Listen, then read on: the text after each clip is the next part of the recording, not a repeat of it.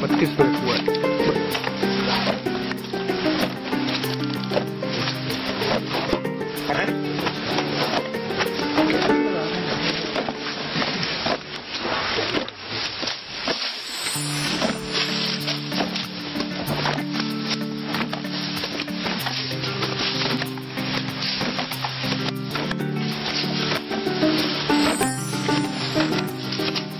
एक एक अंदर कर देना।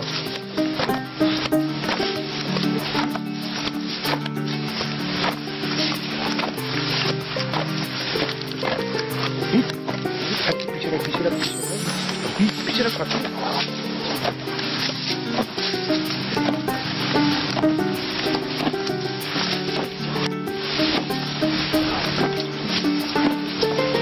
बस बस बस ठीक है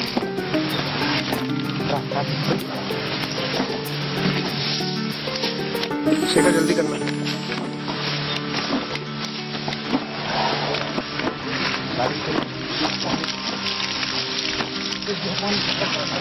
संजीव कपड़ा तो बाद में जाए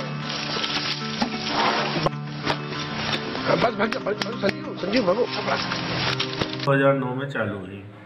2009 के बाद ट्रंकलाइज जो भी बाघों के ट्रंकलाइज किए उनकी गणना प्रारंभ की गई।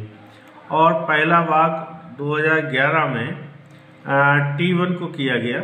और वर्तमान तक 70 सफलतापूर्वक फ्री रेंजिंग टाइगर को रेडियो कॉलर विभिन्न कारणों से उनको ट्रंकलाइज किया गया।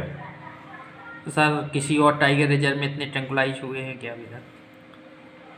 ये शायद नहीं हुए हैं आ, क्योंकि पन्ना टाइगर रिज़र्व में बाघ पुनर्स्थापना योजना अंतर्गत बाघों को रेडियो कॉलर पहनाना ट्रीटमेंट करना रेस्क्यू करना इस तरह के ऑपरेशन सघन रूप से चले हैं इसलिए ये पन्ना टाइगर रिज़र्व ने ये उपलब्धि प्राप्त की है। Guinness of the world record बनाने जा रहे हैं।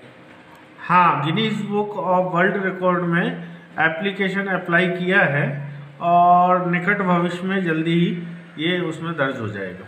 सर कितना चैलेंजिंग होता है और कितना सुकून मिलता है करने के बाद? देखिए एक टाइगर को और वो भी भाग पुनर्स्थापना पुनः योजना के भाग को ट्रंकलाइज करना निश्चित तौर से एक मानसिक तनाव की स्थिति पैदा होती है। और जब सफलता मिल जाती है तो बहुत खुशी होती है। तो डेफिनेटली ये तनाव वाला कार्य तो है।